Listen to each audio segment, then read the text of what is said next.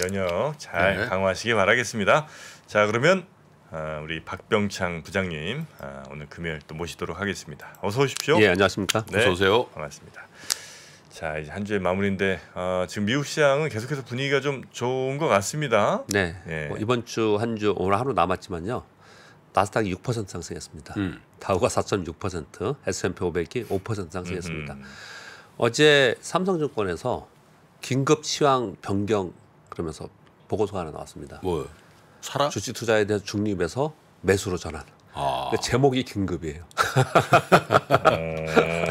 어, 어디에서 낸 거예요? 삼성증권에서요. 어, 뭐 분위기가 조금은 조금 좋아졌다. 뭐좀 좋아졌다고 흥분할 일도 아니고 많이 빠졌다고 또 아니 CD에 삼성증권이 일도. 긴급해서 내내내내 낸다 내는 걸 투자자들이 알아야죠.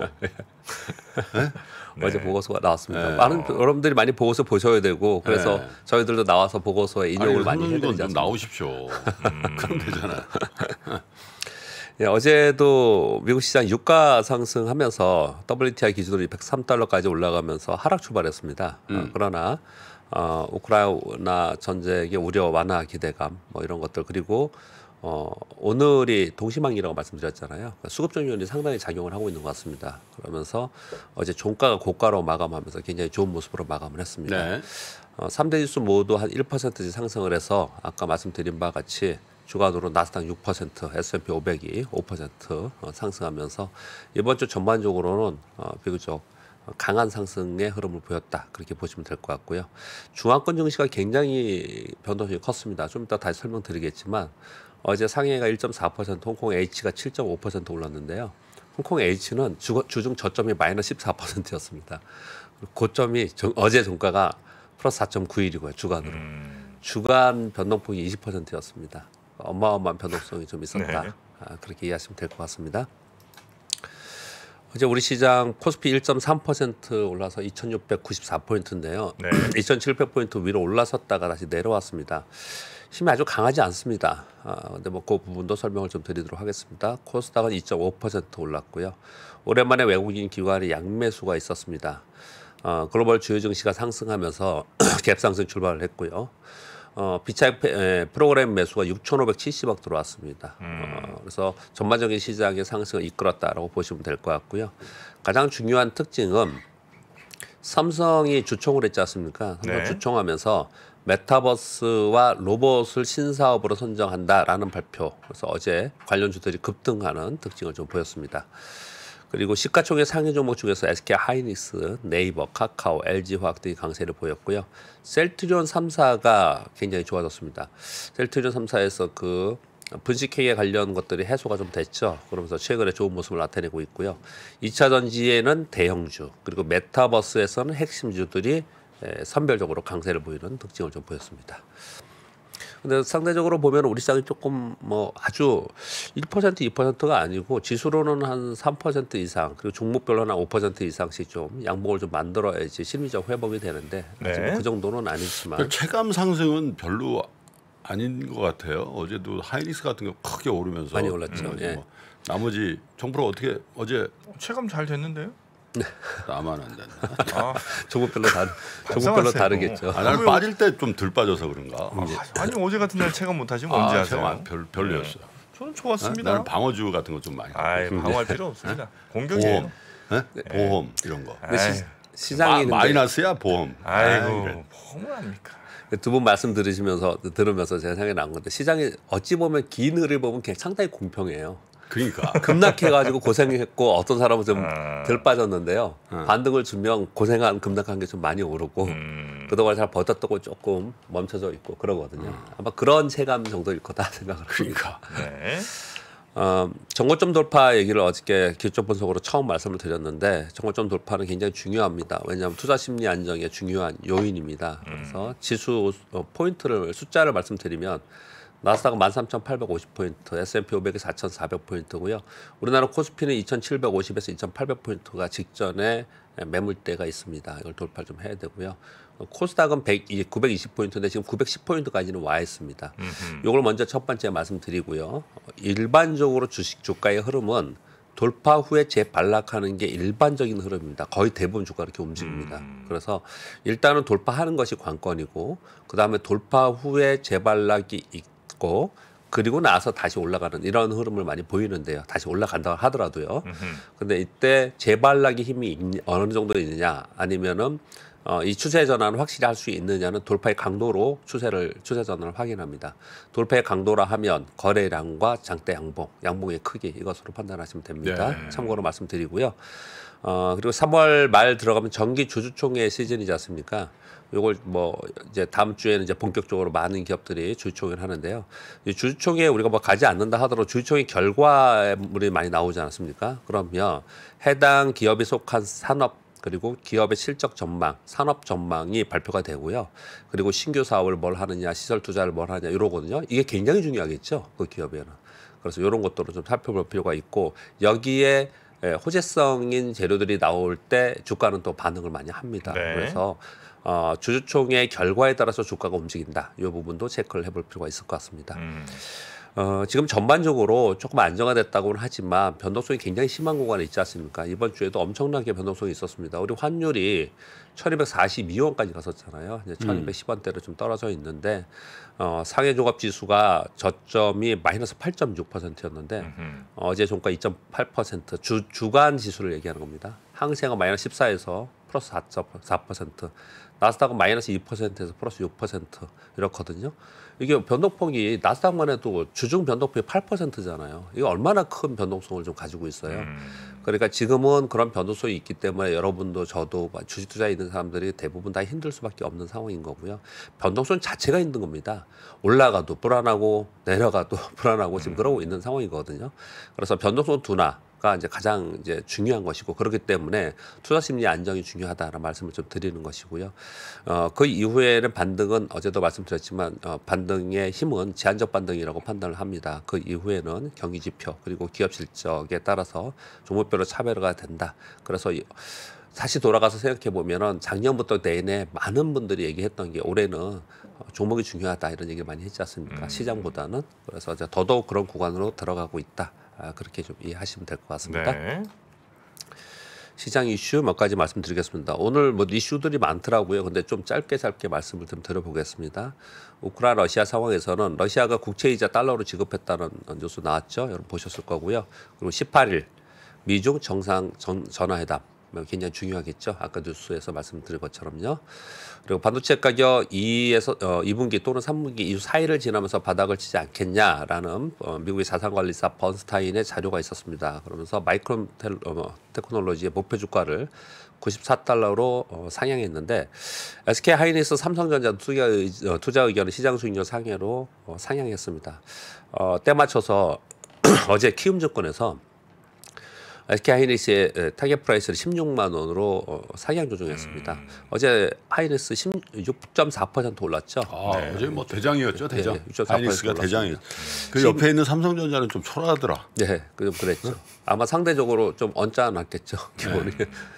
어제 에, 종가는 12만 4천 원이고요. 목표 네. 주가 16만 원으로 나왔습니다.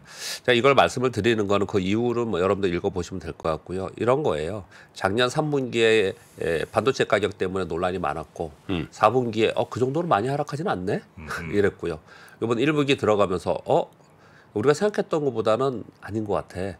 하락이 좀 멈추는 것 같아. 아니요, 낸도는 또 올라갈 것 같아. 이렇게 지금 바뀌고 있어요. 반도체 가격에 대해서 지금 시장의 컨센이요. 네. 네, 이런 컨센의 부분에 노이즈들이 굉장히 많습니다. 뭐 전쟁 때문에 뭐, 뭐 가스가 안- 없기 때문에 반도체 뭐 제조가 어렵다든지 이런 노이즈가 많긴 하지만 전체적인 흐름은 반도체 업황 그리고 반도체 가격은 전반적으로 좀 좋아지는 분위기로 가고 있다. 그렇게 정도 이해하시면 될 것 같습니다. 네. 어, 그런 반면에 또 우려도 있습니다. 미국의 반도체 굴기가 현실화되고 중장기 위협 요인이 될 거라고 판단이 좀 되고 있는데요. 인텔이 애리나주와 오하이주에 그 투자를 대규모 투자를 했는데 유럽 독일과 이제 집중적으로는 독일에 투자를 하는데 독일, 프랑스 그리고 남유럽 어, 여러 곳에 합쳐서 반도체 인프라 구축을 10년간 109조 투자한다라고 발표가 있었습니다. 인텔이 CEO 이런 얘기를 했습니다. 세계는 채울 수 없는 반도체 부족이 있다. 디지털화 될수록 반도체가 핵심이다. 뭐 이런 얘기를 하고 있는 건데 실제로는 이런 거죠. 어, 대만과 한국의 아시아에 집중된 반도체 생산 구조를 바꾸려는 미국과 유럽의 지금 이제 구조적 변화를 지금 하려고 하는 거지 않습니까? 근데 지금 파운드리 공장 기준으로 봤을 때 독일 공장 가동이 한 5년 걸린다고 하는데 사실은 시간이 가면 갈수록 이렇게 대규모 투자를 지금 하고 있기 때문에 아, 물론 뭐 TSMC도 그렇겠지만 우리나라 삼성전자에도 점차적으로 어, 경쟁은 치열할 수밖에 없다. 이 부분을 삼성전자가 어떻게 또 이겨내는지 또는 어떤 정책을 가져가는지도 우리 또 봐야 된다. 삼성전자 네. 주주로서 생각을 많이 해야 된다라고 생각이 들고요. 무디스에서 어, 경제 성장률 전망 보고서 발표를 했는데요. 저, G20 성장률 전망은 4.3%에서 3.6%로 하향했고요. 어, 우리나라는 3.0%에서 2.7%로 하향했습니다. 이게 3.0에서 2.7%는 비교적 큰 폭으로 하향한 겁니다. 음. 그러니까 전반적으로 우리만 하향했으면 조금 이제 문제인데 전반적으로 다 같이 이제 하향을 이제 다운 시키긴 했습니다. 전쟁 같은 거 영향이라는 거죠. 예, 그렇습니다. 그 내용을 읽어보면 이제 그런 영향, 영향인데요. 이런 부분이 이제 시장이 얼마나 반영이 되었나를 생각해야 되는데 사- 반영은 이미 됐기 때문에 많이 네. 빠진 거거든요. 이제 문제는 이게 더 터닝을 하지 못하고 내려갔을 때 시장이 걱정하는 경기 침체로 가느냐 이걸 보는 것이 앞으로 우리 주, 주식 투자를 하면서 중요한 포인트다 이렇게 말씀드리겠습니다. 네.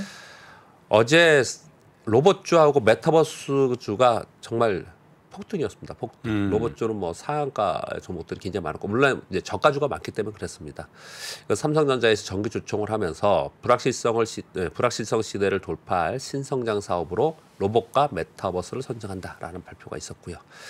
어, 지난번에 향후 3년간 로봇, 시스템 반도체, 바이오, AI 등에 240조 투자한다는 발표가 있었습니다. 어제 구체적으로 얘기가 나오는 게 어떤 것들이 있었냐면 글로벌 로봇 시장 규모가 어, 2020년 작년 어, 2020년도에 약 32조였는데 2026년도에 87조로 연평균 17%씩 성장을 하면 결국은 자동차나 스마트폰 시장 규모만큼 어, 또는 앞설 것이라고 표현을 했는데 에, 그만큼 커지는 시장 규모가 된다.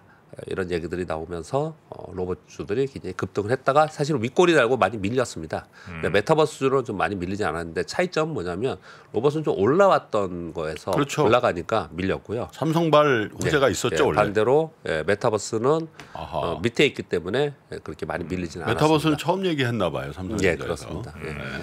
그 이제 이런 겁니다. 요 얘기함 요거 말씀드리면서 하나 또 덧붙이면요.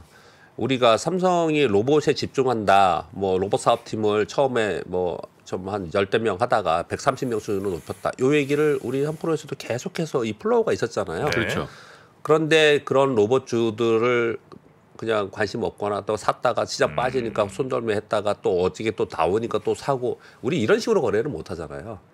결국은 어떤 거냐면 이익 성장이나 성장이 있는 주식에서 내 투자를 해서 그 성장을 가지고 가지고 있으면 그 주식은 좋아진다는 걸 또 한번 보여준 겁니다. 사실 은 어제 그렇게 좀 말씀드리겠고요. 네. 어, 어제 이건 뭐 제가 개인적인 제가 중요하게 생각하는 거라서 말씀 좀 드리면요. 어제는 어, 시장이 반등을 했는데 특정 섹터나 테마가 딱 이끌면서 반등한 게 아니에요. 시장 전반적으로 좀 상, 반등을 했습니다. 그래서 시가총액 상위 종목 중에서 어저께 상승한 종목이 있잖아요. 제가 그 옆에 좀 이렇게 써놨는데 내가 대장이야. 제가 이렇게 표현을 이렇게 써놨는데 음. 이 종목들은 이 종목들은 우리 시장에서 대장급에 속한 종목들이에요. 이런 종목들 어저께 5% 이상 종목 어, 상승한 그러니까. 종목들만 제가 이렇게 나열을 했는데요. 이 종목이 뭐 지금 현재 뭐 매수해야 된다, 좋다, 나쁘다 이런 게 문제가 아니고요. 이 종목들은 우리 시장을 대표하는 종목이고 대장이라는 대장주였다는 거예요. 그래서 여러분들이 이 종목들의 저 명단을 쭉 보시고요. 내가 어떤 종목이 우량주인지 잘 모르겠다, 어떤 게 대장주인지 모르겠다라고 하실 때는 이런 종목들을 눈여겨 보시는 건 굉장히 중요하다. 어떻게? 있어? 생각합니다. 아니 대장주 없으세요? 없어 나 저기. 하나도 없어. 아 아니 왜 이렇게 시장이랑 자꾸 엇박자를 내시죠? 아니 대장주가 이렇게 있는데 이 친구들 중에 하나가 없다? 나 이거 잘못된 투자라고 봅니다. 저는 있습니다. 네.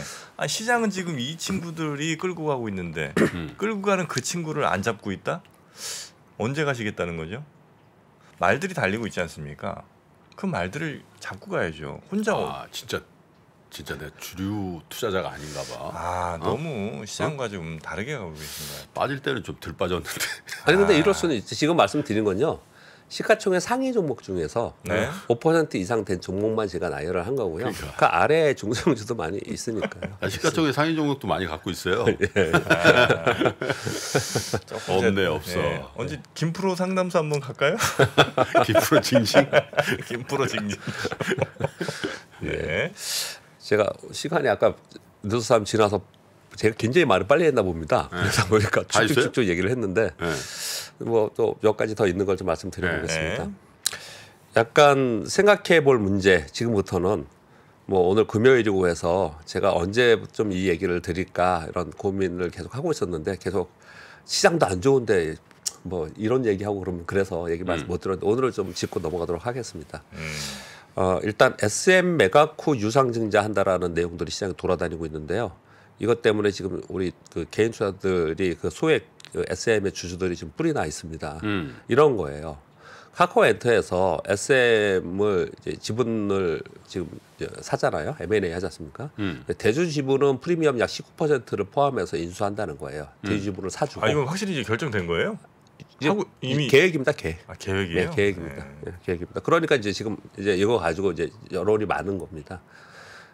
인수한다고 하고 그리고 나서 재산자 배정으로 유상증자를 한다는 거예요. 이, 이 유상증자는 분명히 싸게 할 거란 말이에요. 음. 그러면 그 주주들은 기존의 주주들은 주주 가치가 훼손되죠. 당연히. 음. 더 싸게 유상증자를 하면. 삼자 배정으로. 예, 삼자 그것도 삼자 배정으로. 음. 전체한테 주는 것도 아니고 더 싸게 어떤 곳에 그냥 준다라는 거죠. 아마 뭐 카카오 엔터에 하겠죠. 이런 식으로 그런 식으로 한다는 거거든요. 그래서 아. 형평성 문제가 생기고 기존의 소액 주주의 가치 훼손이 생기지 않냐. 그래서 이게 요즘에 좀 이슈가 되고 있어요. 아 그러니까 대주주의 주식은 비싸게 사주고 예. 그러고 나서 3천억 원치의 유상증자를 통해서 예. 그 전체적인 주식 가치는 좀 떨어지게 만 되는 원, 상황. 예, 예, 제가 말씀을 말씀 중에 죄송한데 만 원이잖아요. 네. 근데 대주주 프리미엄이라는 게 우리나라 좀 있잖아요. ML이에요. 네. 음. 지금 외국에는 이게 거의 없는데 외국에는 다 사주죠. 예, 없, 없는데 그 가격에. 그러면 만 원인데 프리미엄 20%를 붙여서 12,000원에 사주는 사죠. 거예요. 네. 근데 주가는 지금 만 원이지 않습니까? 음. 거기서 할인해서 예, 할인해서 유상증자는 8,500원에 하는 거예요. 음. 이렇게.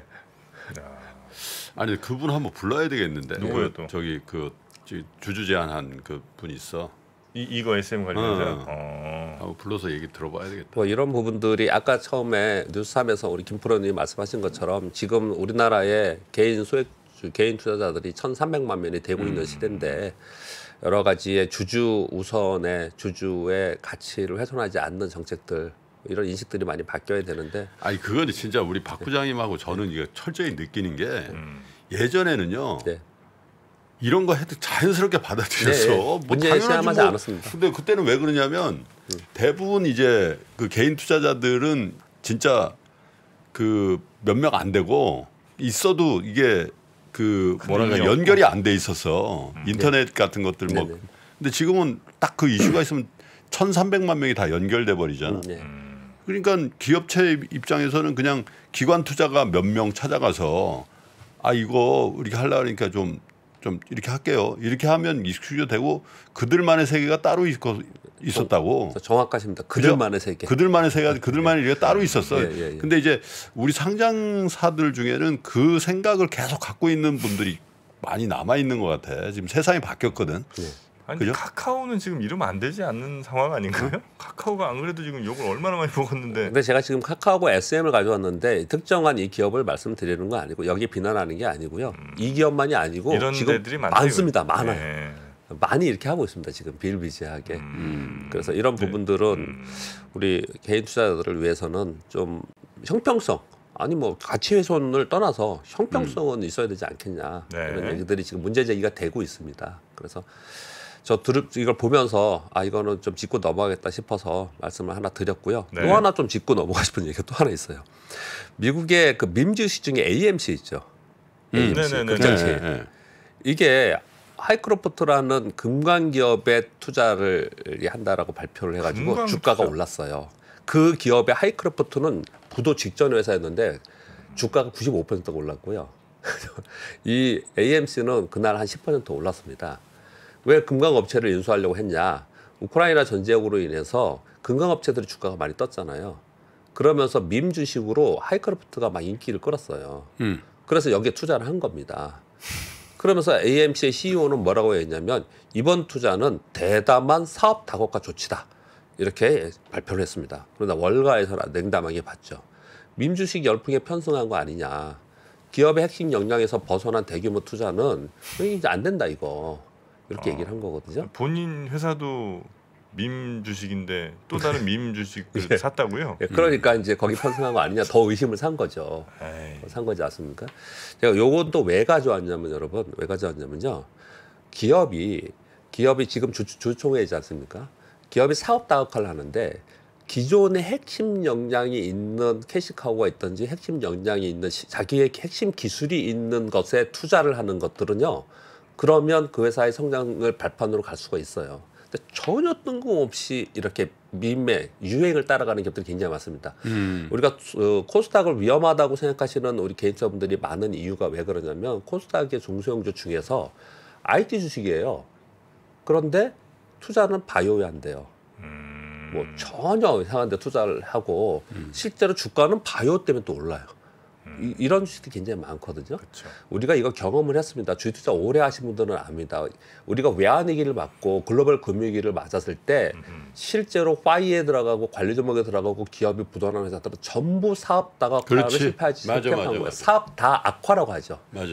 그런 기업들은 전부 다 철퇴를 맞았어요. 그리고 네. 대부분 그때는 네. 이세 승계 과정에서 네. 하셔요. 예를 들면 진로 있죠, 진로. 진로가요. 우리나라에서 제일 안정적인 회사거든. 그렇죠. 전 국민이 진로를 예, 마셔주니까. 예, 예. 근데 그때 진로가 뭘 하려니 진로 건설에다가 뭐 지- 여하튼 네. 진짜 엄청난 사업 다각화를 해요. 음, 그죠? 네. 그러 그러다가 이렇게 되거든. 진로 건설? 어, 그럼요. 뭐 했죠. 예. 아 그래요? 네. 예. 그럼 진로 아파트 뭐 이런 거 생기는 거예요? 아 그렇죠. 아마 몇 개 있을. 두껍이 있습니다. 딱 고려 있는 아파트. 아 진짜요? 두꺼봐 두꺼봐. 예, 예. 내집 그거 그런 아, 진로. 아파트가 있어요. 그럼 진로 아파트 있어. 아못 봤네 한 번도. 네. 그러니까 옛날이니까요. 그래서 진로가 그때 부도가 나면서 네. 아주 조그만 회사였던 하이트의 인수가 돼서 그렇지. 지금 하이트 진로가 된 거거든요. 거기다가 아. 혜태그룹은 혜태그룹은 있잖아. 네. 진짜 롯데하고 혜태는 쌍벽을 네. 이루면서 과자. 어 최고였지. 근데 혜태가 전자를 했다고 그때. 맞습니다. 혜태전자. 예. 혜태전자 들어본 것 같다. 혜태- 그거 전자가 하면서 있었어요. 어려우신 거예요. 아니 물론 아니 뭐 제가 좀은 뭐 전자 못하냐 그런 법은 없지만 음, 근데 엄청난 다 다각화를 하죠. 예. 아 혜태전자 그래 들어본 것 같아요. 그럼 그래서 그렇더라. 이 뉴스가 다시 한번 우리가 그런 걸 생각하게끔 할 수 있는 뉴스인 것 같아서 아, 한번 가져와 봤고요. 인천, 광주, 부산 등의 진로 아파트 영등포에도 있답니다. 아, 진로 아파트 있다니까. 네. 아, 아, 전 처음 어, 본거 근데 진짜. 이 전국에 다 있네. 부- 청주, 부산 수영구에도 있고. 어, 녹번역에도 있고. 아, 좀 버텼으면 진로도 괜찮을 뻔했네. 그래서 우리가 여러분 그 이런 얘기 많이 하지 않습니까? 어 2020년에 어, 팬데믹을 맞고 동학개미 운동이 생기고 그러면서 주식을 좋은 주식을 어, 장기 투자해서 수익을 내는 기업의 성장과 투자를 한다 이런 얘기를 많이 하잖아요.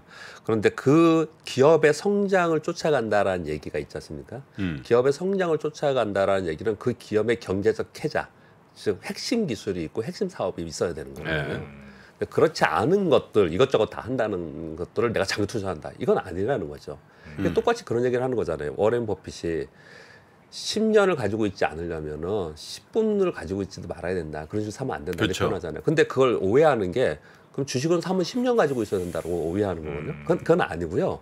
이 주식을 10년 동안 가지고 있어도 10년 동안 성장할 기업에 투자하라는 의미거든요. 음. 그 의미는. 그래서 그런 말씀을 한번 드려봤습니다. 네.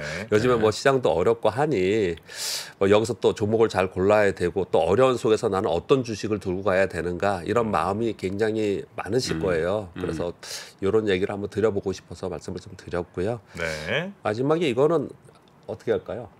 보셨죠 뒤에 말씀 아, 유튜브. 맨날 가져왔던 거. 네. 이거 뭐 끝으로 오늘 금요일이니까 잠깐 한번 네. 네. 말씀해 주시죠. 금요일이니까 뭐. 그냥 네, 말씀드릴까요? 이거 사실은 월요일부터 제가 여러분들 이 자료 맨날 다운로드 받으시죠. 월요일부터 매일 가져왔는데 타이밍이 뭐 기분 나쁘실까봐 안 했는데 음. 뭐 내용은 이런 겁니다. 아시아 경제에서 유튜브 등의 주식 리딩방 위법행위 120건 적- 적발했다.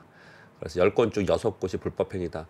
지금 정프로라고 하면서 계속 나, 이게 돌아다니는 거 아세요? 정프로요? 네, 이름 왜? 얼굴은 안, 없는데요. 이름은 딱 정프로입니다. 정프로로 해서 매일 종목 저한테 매일 오고 있거든요. 그래요? 부장님한테 정프로가 종목을 보내드려요? 네, 매일 오고 있거든요. 근데 요즘에 굉장히 많습니다. 이거 굉장히 대세는 대세인가보다 정프로가 시장에. 근데 누가 듣기에도 저는 딱 보면서 어 정프로는 뭘 보낸다. 아니 사기치는 애들도 그거 좀 정신 좀 똑바로 차리고 해야지. 네, 요- 그래. 요즘에 이제 그런 것들이 훨씬 더 많아졌는데요. 아. 그러나 이렇게 좀 저는 정리를 해서 말씀을 좀 드리겠습니다. 우리 미국의 밈 주식들이 네. 주가가 어떻게 되는지 알잖아요. 마이너스 70%, 80%, 90%다 네, 네, 났습니다. 네, 네, 네. 그리고 우리가 오- 여러분들이 오해하시는 게 있는데 과거에 제가 사원 시절에는 정보의 비대칭이 있었습니다. 실제로 음. 증권사 직원들이나 전문가들만 갖고 있는 정보라는 게 있었어요. 그쵸. 근데 지금은 그렇지는 않습니다. 음. 정보에 그렇게까지 비대칭이지 않고요.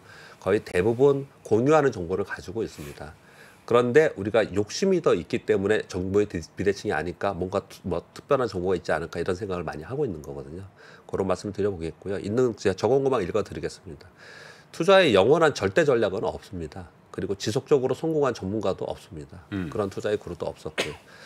기본적으로 우리가 합리적인 이성, 합리적이고 이성적인 사람이라도 결정적 판단은 이성적보다는 감성적으로 많이 하는 경향이 있는데 특히 요즘처럼 숫자에서 멀어진 비정상적인 움직임의 시장에서는 감정이 폭발합니다. 음. 요게 제 요 말씀을 꼭 드리고 싶었어요.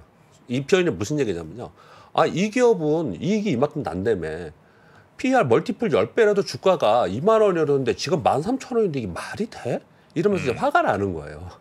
설명이 안 되니까 그게. 이런 시장이 시장에서는 간혹 있거든요. 네. 그래서 요즘 투자를 하시다 보면 있거든요. 이럴 때 감정적으로 폭발이 되면서 자꾸 주변을 기웃거리고 딴 행동을 하게 된다라는 생각이 많이 들어요. 그런데 자본시장의 역사는 비정상적으로 갔다가 정상으로 회복하고 정상과 비정상을 반복하면서 움직였습니다. 우리는 정상으로 간다고 생각하면서 정상적인 시장을 바라보고서 투자를 하는 게 맞지 않을까 이렇게 마지막으로 말씀드립니다. 네. 아, 제가 화가 안 나는 게 공부를 안 해서 화가 안 나는 모양이군요. 이 PER 10배가 말이 돼? 이런 걸 아예 안 보니까 화가 안 나나 봐. 이러면 안 됩니다, 여러분. 김프로, 정프로는 그런 거 안 하니까. 정프로 저 주식 이 많습니다. 예. 아, 이 프로는 또 부동산 쪽에서 있다는 얘기가 있어. 아, 그래요? 아, 뭐 분양합니다. 이 프로입니다. 야, 진짜. 자, 하여튼 그런 거 전혀 여러분 예, 믿지 마시고 뭐 정프로는 한번 믿어보세요. 정프로는.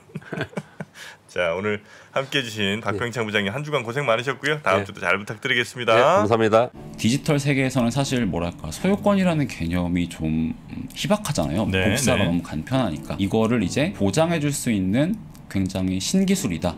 지구를 잘게 쪼개 땅을 사고 팔 수 있는 메타버스 플랫폼. 3만 원에 팔린 프랑스 에펠탑은 지금 170만 원이 됐습니다. 디지털 아티스트 비플의 한 작품이 지난달 팔린 가격은 787억 원. 그리고 게임 캐릭터 성형을 통해 월 천만 원을 버는 크리에이터의 등장까지 새롭게 펼쳐지는 세상에 대한 전망과 리스크를 담았습니다. 여러분도 메타 리치를 꿈꾸신다면 변화의 흐름에 올라타 보세요.